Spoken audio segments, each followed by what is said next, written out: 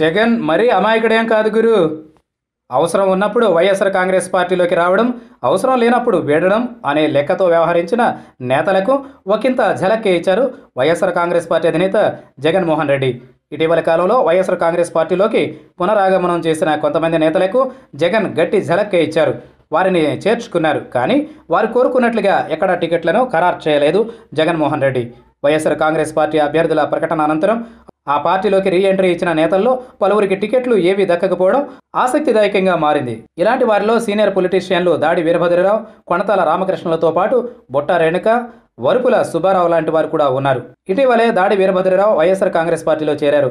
ఆ సందర్భంగా ఆయన జగన్తో తనకు అనుకూలమైన సీట్లను కోరినట్లుగా తెలుస్తూ ఉంది. అయితే ఆ సీట్ల విషయంలో జగన్ అప్పుడే కుండబద్దలు కొట్టారట. తాను వాటి విషయంలో వేరే వాళ్ళకు హామీ ఇచ్చేసినట్లుగా చెప్పారట. ఇప్పుడు వారి విజయం కోసం పనిచేస్తే మీకు పార్టీ అధికారంలోకి రాగానే వేరే అవకాశాలను ఇస్తా అంటూ జగన్ హామీ ఇచ్చారట. అయితే ఆ విషయం అప్పుడు బయటకు రాలేదు. అభ్యర్థుల జాబితా బయటకు వచ్చాక అసలు విషయం తేలిపోయింది.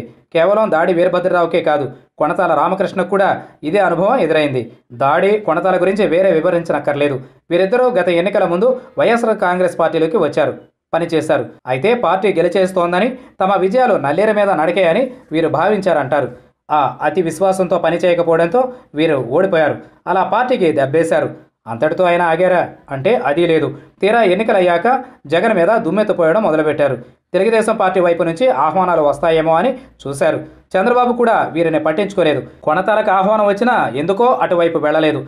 చివరకు జగన్ వద్దకే వచ్చినా వీరికి టికెట్లు ఏవీ కేటాయించకుండా పనిచేస్తే ఎన్నికలయ్యాక చూద్దామన్నట్లుగా వ్యవహరించారు జగన్. ఇక తను బేషరతుగా వైఎస్ఆర్ కాంగ్రెస్ పార్టీలోకి జాయిన్ అయినట్లుగా బొట్ట రేణుక ప్రకటించారు. ఆమె షరతులు పెడితే జగన్ చేర్చుకునేదే ఉండకపోవచ్చు. ఇక వరుపుల సుబ్బారావు పరిస్థితి ఇదే. పార్టీ నుంచి బయటకు వెళ్ళిపోయిన వారి విషయంలో జగన్ మొదటి నుంచి ఇదే స్పష్టతతో ఉన్నారని కొందరు రిటర్న్ వచ్చేందుకు వర్తమానాలు పంపిన వస్తే రావచ్చు. టికెట్లు ఇచ్చేది మాత్రం ఉండదని జగన్ మొదటి నుంచే చెబుతూ ఉన్నారట. చివరకు అదే జరగడం జగన్ పెట్టుకున్న నియమాలకు అద్దం పడుతూ ఉంది.